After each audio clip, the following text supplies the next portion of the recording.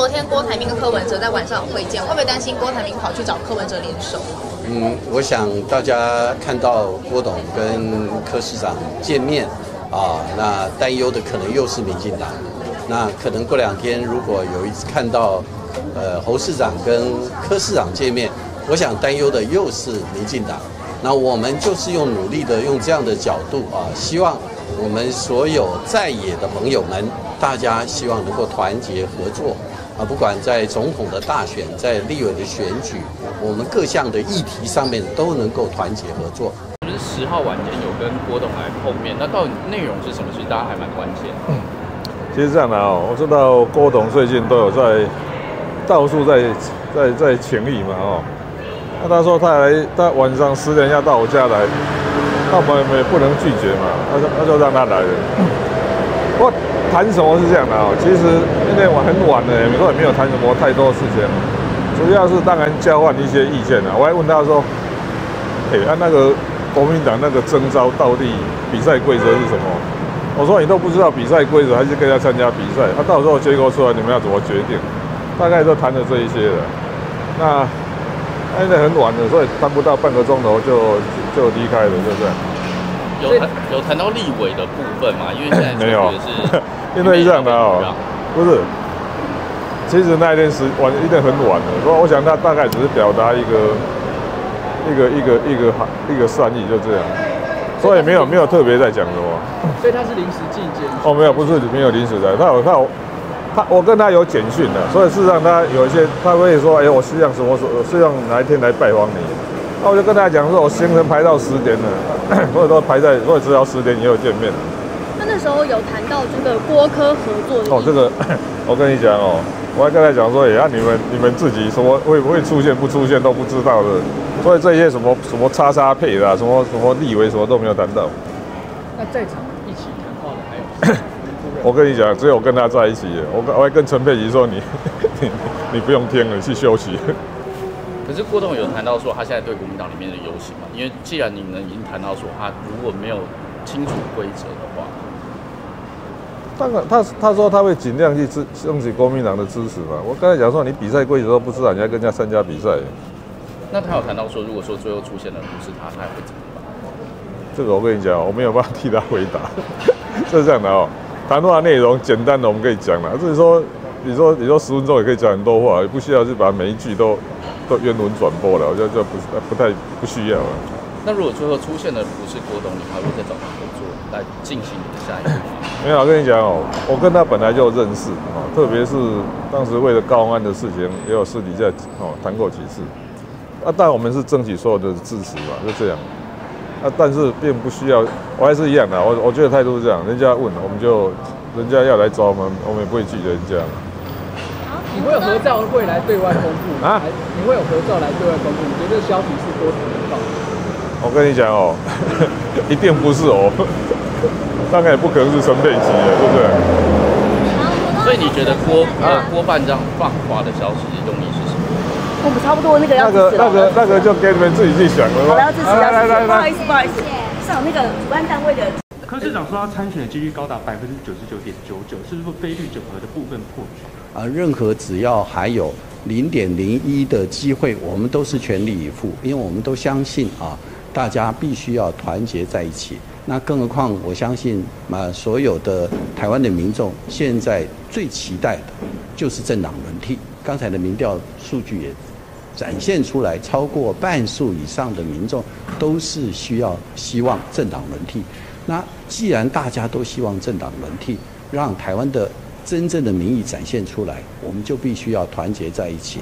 那我们相信，最后我们一定会团结合作。好，就说您未来的这个对手部分，有可能是侯乙，也有可能是郭台铭，也有可能是赖清，赖清的是已经确定了。那在这些人选当中，您怎么评价您的这些对手？重点哦，不是说对手怎样，其实我们要这这一次选举，其实我思考过，我常常开玩笑说哦，计程车司机就是最好的政治评论员了，比那个晚上看的科文节目哦还准确。以前哦，那个计程车司机会怎么讲？用啊，相对总统我嘛是塞给人家，那不差。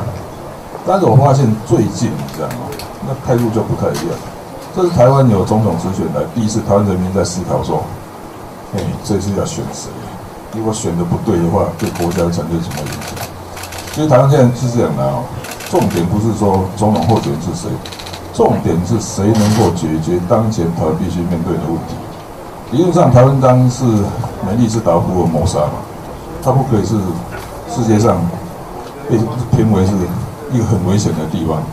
直到我们去美国，你知道吗？就发现说，理论上大家认为不会有战争，但是大家还是很担心。我说在国外的智库，台湾现在是这样的，不止五缺，你知道吗？到现在连哦缺工啊，什么缺鸡蛋，么都跑出来哦。还有这个年轻这老港老 那个劳保会要破产，种种问题你知道吗？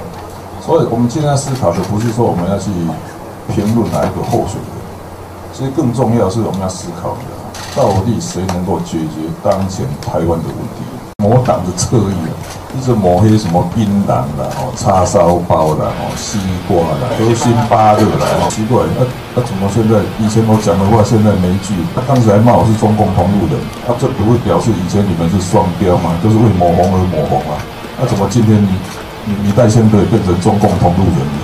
那其实这没什么稀罕，在他们的眼光里，只要不听话，每一个都中共同路人。哦，跟以前的高嘉瑜、王世坚也曾经被说过是中共同路人。有关于两岸的问题，你说不适合在议会来呃耍嘴皮，但我想问你们的是，呃，传出赖正仪他们在两岸的论述部分将会聚焦和平保台、经反共不反中的这个立场，那你怎么看？因为过去赖清德被视为是台独精神。第一点哦，其实长期以来，你知道吗？我一直被侧翼，你知道吗？某很多某党的侧翼啊，一直抹黑什么槟榔啦、哦叉烧包啦、哦西瓜啦，是吧？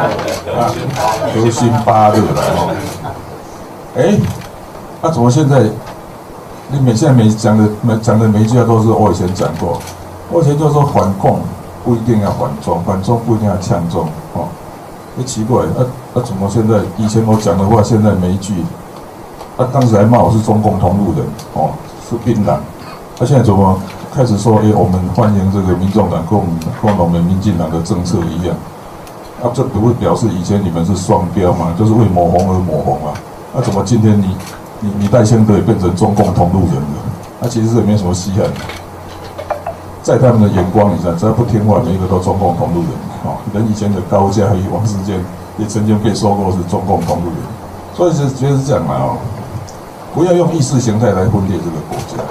啊，事实上，我在很多演讲都讲过，在现阶段，台湾既不可能统一，也不可能独立。其实维持现状是一个不得已的选择。所以在这个基础上，我们怎么去求取台湾的自主，那两岸的和平，这才是目标嘛。那你过去都每天在操弄那个什么抗中保台的什么芒果干的，讲一大堆，那怎么今天你也变成中共同路人？今天民进党议员要在议会要抽考朋友以两岸还有美中这种国际议题，那就考啊！我坦白讲哦，这个也有个人的经验的哦，这些还是很严肃的题目，这绝对不是任何一个人能够会。说这要还是要很大的智囊团，还要读很多书，还要在实际操练一样。还有一点呢哈，我们有实际到美国跟美国政府高层谈过以后，对局势会更清楚的。所以来讲哦。这种题目不是在议会耍嘴皮的，这要读很多书，跟很多的专家讨论过，甚至还有实际的临场经验。因为毕竟美国还是团最重要的盟友，有些东西还是要面对面跟高层沟通。